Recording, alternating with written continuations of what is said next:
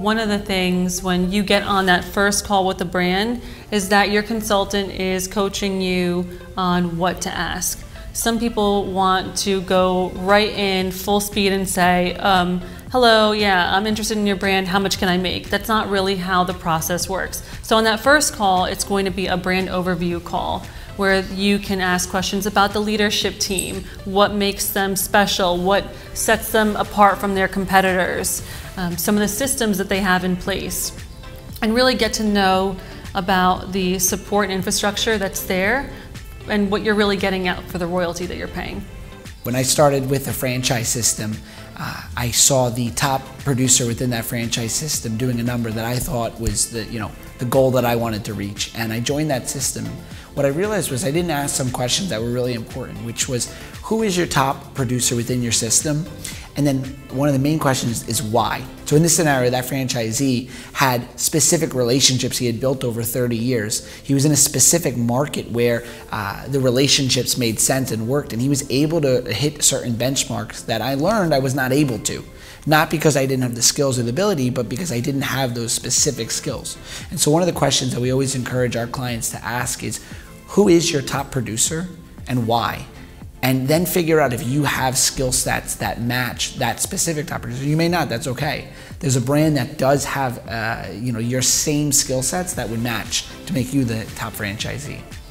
And another follow-up would be not just the skill set of their ideal candidate, but also what about geography, demographic? Is there a specific market that they feel like would be optimal for this type of business? And how do they identify it? When validating with a franchisee or when learning about a brand, what is your favorite part of the role? Like, what's your day to day? What gets you out of bed that excites you about this business? And really listen to them about that. And then you need to also ask, every business has its pros and its cons. No business is not going to have a negative, you know, component to some degree.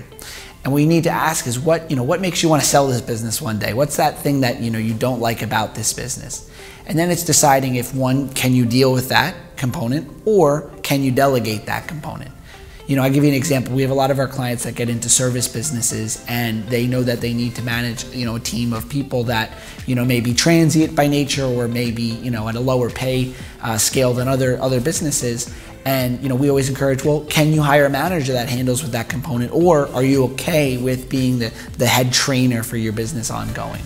How many hours a week is a typical owner spending on this business? Is that going to fit with your lifestyle goals? Is it going to interrupt going to the baseball games or um, creating those moments with your family? What type of lifestyle do you want? Maybe you're a workaholic and maybe that's what they're looking for, um, solely owner operator. Maybe it's something that can be run a little bit more semi-absentee. I feel like semi-absentee can be almost subjective depending on the brand. So ask them, what does that look like? Is it 10 hours a week? Is it 15 hours a week? Um, is it 20? And find out if that's going to align with what you want for you and your family. This is a funny one, but find out what the day to day expectation of your wardrobe is. Okay, I know it sounds silly, but when you get into a business, maybe you're someone that enjoys wearing a suit and you know and a, and a, and a jacket, and you know that's the kind of person that you you know you want to be. Where I see other franchise uh, candidates, they think they want to be you know in a service business, but they're not comfortable being in that kind of environment. Are you okay managing you know a blue collar type of employee, or do you need that more you know uh, white collar type of uh, uh, teammate?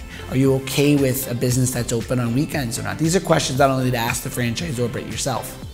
What is your ongoing support look like for someone with my type of background that hasn't done this before, or maybe you are experienced? Um, what type of systems do they have in place? Is there someone that comes on site in the beginning every single week to make sure you're successful?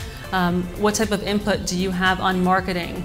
There's a lot of questions that your consultant can put together for you, and you can always schedule a call with us. We'd be more than happy to help coach you on that first initial call. One thing I would definitely coach you not to ask is those financial questions on the first call, and it's not because they are being evasive, but they will dedicate that full second call to what they call unit economics, and they'll be able to answer all your questions there. My name is Dan Claps, founding partner at Find a Business Online. My name is Natalie Gold, managing partner at Find a Business Online. If you find the education that we're providing useful, we encourage you to schedule a consultation call with any of the franchise consultants within our team. And of course, thanks for watching.